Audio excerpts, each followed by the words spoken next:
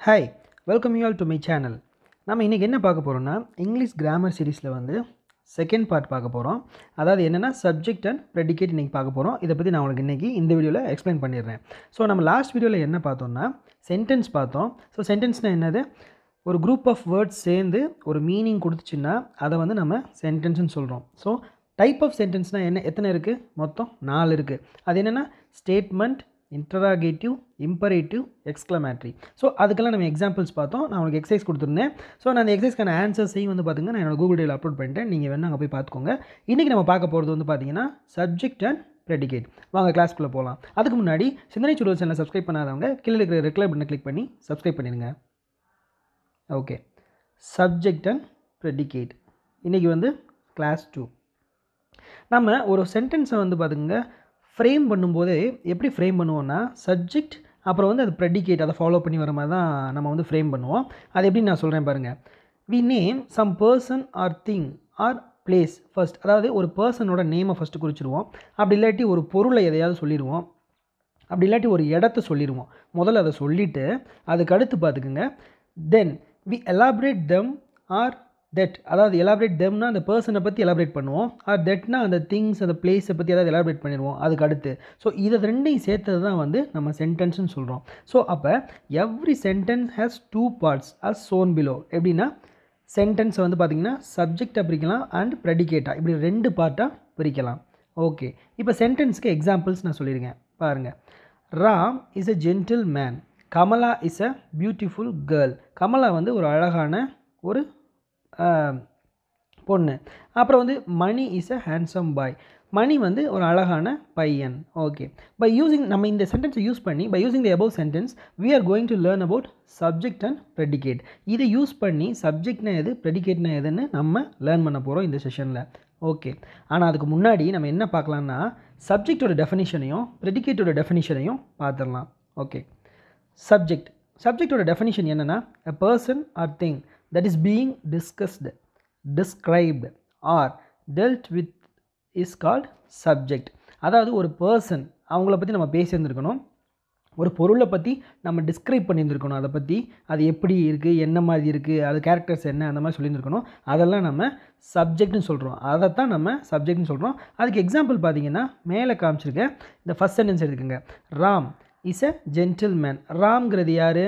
இங்கே நம்ம சொன்ன மாதிரி ஒரு பர்சன் அவர் வந்து ஒரு மனிதர். அவரை பற்றி இஸ் எ ஜென்டில் மேன் அப்படின்னு நம்ம விவரித்து சொல்லியிருக்கோம் டிஸ்கிரைப் பண்ணியிருக்கோம் அவரோட கேரக்டரை ஸோ அப்போ ராம் அப்படிங்கிறது என்னவாக இருக்குன்னா சப்ஜெக்டாக இருக்குது ஃபைன் அதுக்கடுத்து நம்ம போக போகிறது என்னென்னா ப்ரெடிகேட் ப்ரெடிகேட் என்னென்னா the part of a sentence or clause containing a verb and stating something about the subject is called predicate அதாவது இப்போ ராம் அப்படி இருக்கார் அவர் ஒரு ஜென்டில் மேன் அப்படின்னு அந்த ராமை பற்றி எதெல்லாம் சொல்லுதோ அந்த ராமை பற்றி எந்த மாதிரியெல்லாம் பேசுகிறாங்களோ அதெல்லாம் வந்து பார்த்திங்கன்னா ப்ரெடிகேட்டில் வந்துடும் ஸோ இப்போ எது ப்ரெடிகேட் இப்போ இந்த ஃபர்ஸ்ட் சென்டென்ஸில் இந்த எபோவ் எக்ஸாம்பிள் எடுத்துக்கோங்க. Is a gentleman which told something about the subject subject யார்? ராம். அப்போ ராமை பற்றி சம்திங் சொல்லுது. அதனால வந்து இது வந்து ப்ரெடிகேட் அப்படின்னு சொல்கிறாங்க அப்போ சப்ஜெக்ட்னா என்னென்னா ஒரு பிளேஸ் ஒரு பர்சன் பற்றி நம்ம மென்ஷன் பண்ணுறது அந்த பிளேஸ் அந்த பர்சனை வந்து பற்றி விவரித்து அதுக்கடுத்து குறிப்பிடப்படக்கூடிய அந்த வார்த்தைகளை ஃபுல்லாக என்ன சொல்கிறோன்னா நம்ம ப்ரெடிகேட் அப்படின்னு சொல்கிறோம் ஓகே இப் எப்போவுமே பார்த்தீங்கன்னா the subject of the sentence usefully comes first எப்போவுமே வந்து பார்த்தீங்கன்னா யூஸ்ஃபுல்லாகவே ஃபர்ஸ்ட் தான் வரும். பார்த்தீங்கன்னா இங்கே மேலே இருக்கிற மூணு சென்டென்ஸையும் பார்த்தீங்கன்னா ராம். முன்னாடி வந்துருச்சு. சப்ஜெக்ட் கமலாவை பற்றி பேசுகிறோம் கமலா முன்னாடி வந்துட்டாங்க. மணி மணியை பற்றி பேசுகிறோம் அவங்களும் முன்னாடி வந்துட்டாங்க.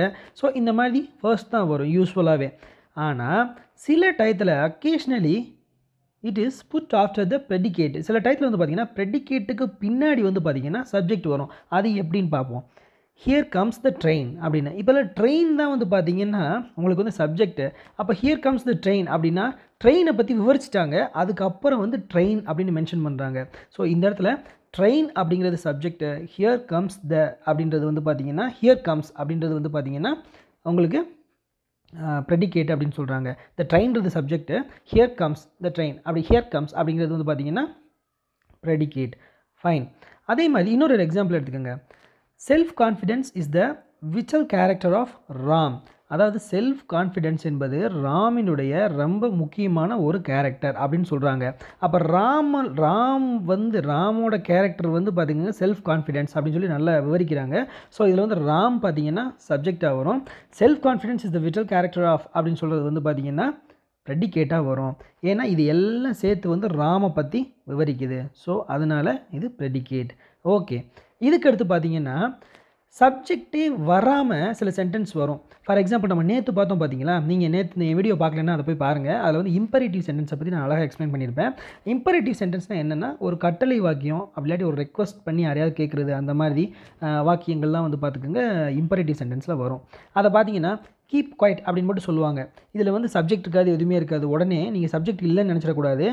அந்த சப்ஜெக்ட் வந்து யூ அப்படிங்கிறது அண்டர்ஸ்டுட் அது வந்து புரிய பட்டது அதாவது புரிய பட்டுக்கணும். அதாவது கீப் குவைட்னா யாரை பார்த்து சொல்கிறாங்க அவங்களே யாரை பார்த்தா சொல்லுவாங்களா? கண்டிப்பாக இல்லை. முன்னாடி யாராவது இருந்தால் அவங்கள பார்த்து தான் சொல்லுவாங்க. ஸோ அந்த யூ யூ அப்படிங்கிற சப்ஜெக்ட் வந்து பார்த்துக்குங்க. இட்ஸ் அண்டர்ஸ்டுட் புரிஞ்சுட்டிங்களா? அடுத்து வந்து சிட் டவுன் அப்படின்னா வேறு யாராவது சும்மா போய் யாராவது உட்காருன்னு யாரையுமே பார்க்காம சொல்லுவாங்களா? இல்லை. உங்களை பார்த்து சொல்லுவாங்க. இல்லாட்டி வேறு யாராவது பார்த்து சொல்லுவாங்க.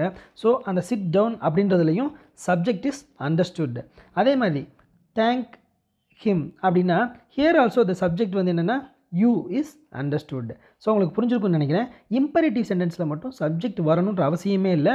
So it is understood fine அதுக்கடுத்து பார்த்தீங்கன்னா இது ரிலேட்டடாக நான் உங்களுக்கு எக்ஸசைஸ் கொடுத்துருக்கேன். என்ன பண்ணணும்னா நீங்கள் சப்ஜெக்ட்னா என்ன ப்ரெடிகேட்னா என்ன அப்படின்னு மட்டும் டிஃப்ரென்ஷியேட் பண்ணி காமிச்சா போதும். இப்போ ஃபஸ்ட் இதை மட்டும் நான் உங்களுக்கு சால்வ் பண்ணுறேன் பாருங்கள் the boy standing there is my brother அப்படின்னா த பாய் அந்த பாய் அப்படின்றவர் ஒரு பையன். அப்போ அந்த பையன் அப்படின்ற ஒரு பர்சனை நம்ம மென்ஷன் பண்ணுறோம் ஸோ இது நமக்கு சப்ஜெக்ட் அந்த சப்ஜெக்டை பற்றி நம்ம டெஃப் அதாவது விளக்கமாக சொல்கிறோம் என்னது? Standing there is my brother அங்கே நின்று கொண்டிருக்கிறான் பார்த்தீங்களா அவன் வந்து என்னோட தம்பி அப்படின்னு சொல்கிறோம் ஸோ அப்படி சொல்கிறதுனால வந்து பார்த்திங்கன்னா பாயை பற்றி விவரிக்கிற standing there is my brother அப்படின்றது வந்து ரெடிகேட்டாக வரும். ஸோ இதே மாதிரி நீங்கள் மிச்சம் இருக்கிற சென்டென்ஸ் ஃபுல்லாக வந்து உங்கள் ஆன்சர்ஸை போட்டு நீங்கள் வந்து நான் கூகுள் ட்ரைவில் இதே மாதிரி இதை அப்லோட் பண்ணிடுவேன். ஆன்சர்ஸை ஃபுல்லாக நீங்கள் அதை வந்து கிராஸ் செக் பண்ணிக்கோங்க.